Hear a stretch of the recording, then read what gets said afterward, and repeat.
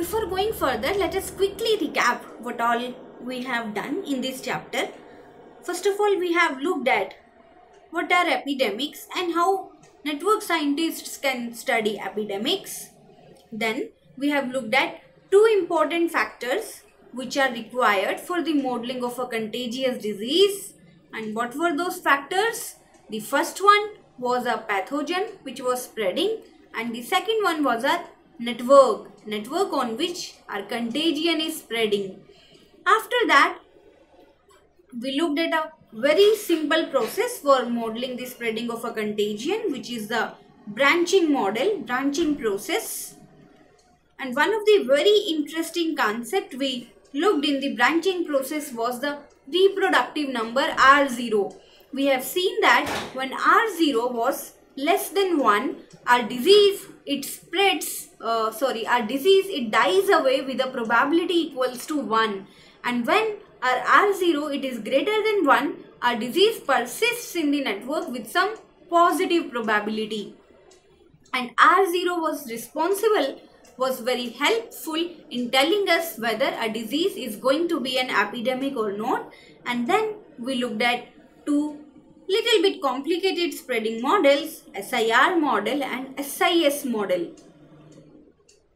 Now again I'll pose a question to you and the question is like here we have seen that there is a reproductive number which if less than 1 it means that disease for sure dies away. If it's greater than 1 then then uh, it's quite sure that the not completely sure but quite sure that the disease will persist in the network. This theory which we did for the branching process, do you think that it will hold here? And the answer can be no. The answer is no. Why this theory doesn't hold here? Let's take a small example and try to figure it out. Say we have a network here and let's say network is in this form. I'll give you a network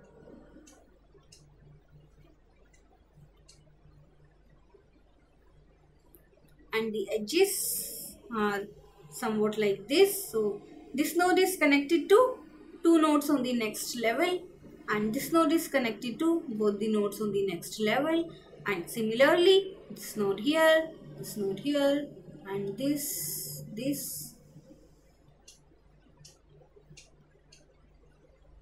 and this network goes on like this. So it's an infinite network.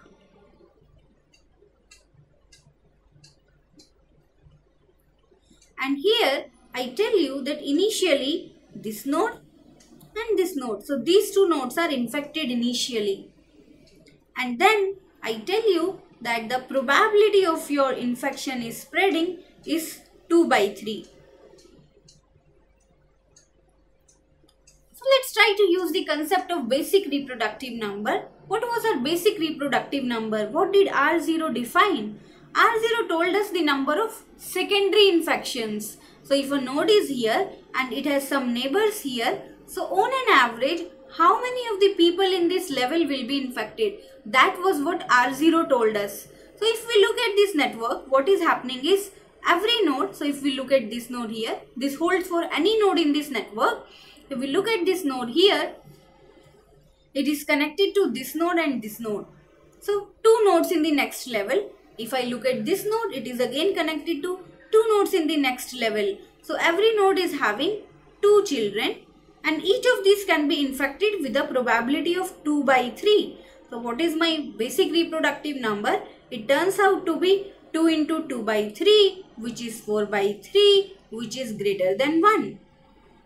Which means that there should be a quite a high probability that my disease you know should exist on this network there should be a high probability that my disease it should persist in the network. But it is not so. It doesn't happen like this. Rather i'll show you that on this network this disease it for sure with a actually with a probability equals to 1 the disease dies away.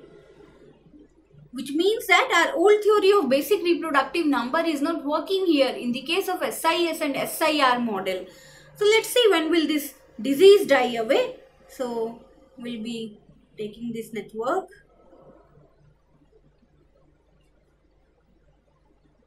So here is the here is our network. Initially these two nodes are infected. Let us look what is the probability that your infection doesn't come to this level. So let's say that this is level 1 here, this is level 2, this is level 3 and so on. We are interested in looking at the probability that none of the nodes at level 2 is infected. What is the probability that none of the nodes in level 2 is infected. And it's actually simple to calculate. So when will be a node here infected? If any of these four links work out, then either this node will be infected or this node will be infected, right? So when will none of these nodes infected? When this link also fails, this link also fails, this link also fails and this link also fails. Even, even if one of these links work, my infection will come here to the second level. So none of these links should work.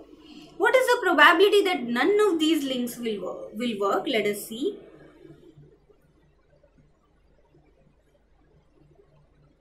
So probability of infection here was 2 by 3 for every edge, right?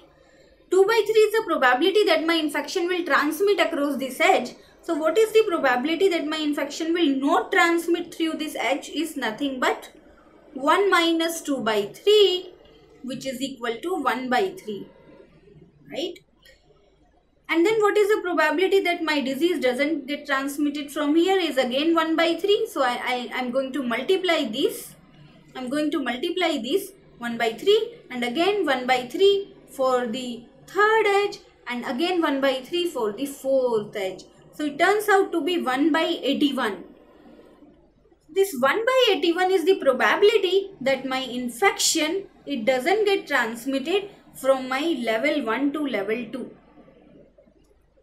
1 by 81 is the probability that my infection doesn't get transmitted from this level to this level. Which is actually a high probability, which is on a higher side.